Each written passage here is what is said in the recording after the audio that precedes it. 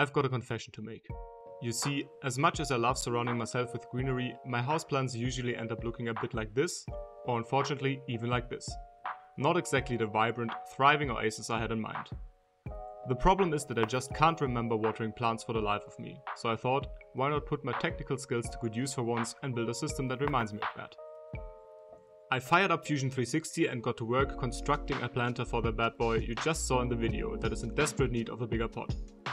For the look I took inspiration from Hendriks Design who came across my For You page on TikTok a couple of times and who makes absolutely gorgeous planters. I'll try to link him in the video description if I remember.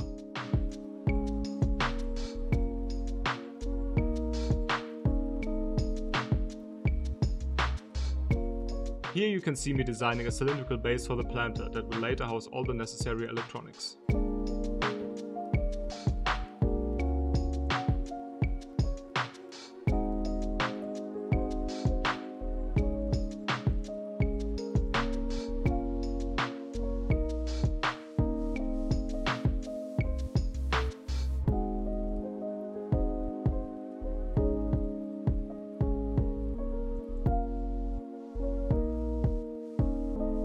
I will of course make all the project files available for free. Just check the video description below. I loaded the base into Cura and sent it to my Elegoo Neptune 3 Pro for printing, so I could start the assembly process.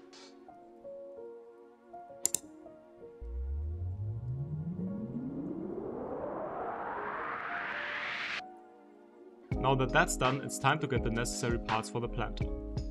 The main part is an ESP32.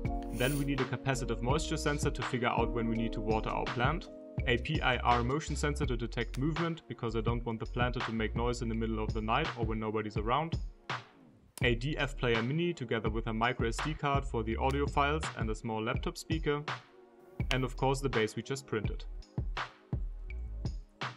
I just snapped everything into existence because I didn't want anyone making fun of my soldering. I'm very sensitive. Now it's time to start writing MicroPython code using the worst IDE known to man, Thonny. I'll spare you the details, but the code works by continuously checking if the moisture sensor detects a value beneath a certain threshold and if the motion sensor detects movement. If both of these statements are true, a sound is played to inform the user that his plant needs to be watered. After that, a cooldown period is started before checking the values again. I know it's not the prettiest code in the world, but it will do for a first prototype. I thought it would be a fun idea to ask my closest friends if they would send me a voice recording of them pretending to be a plant that desperately needs to be watered.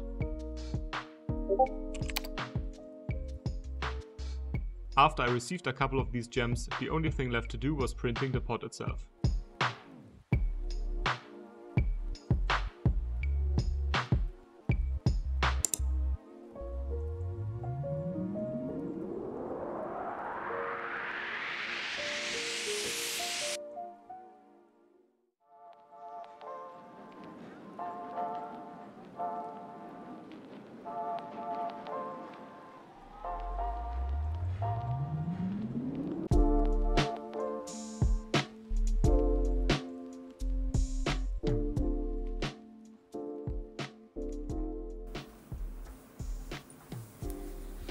Hey, ich hab einen Durst. Jetzt gieß mich mal, du Hundskrippe, du Eleniger.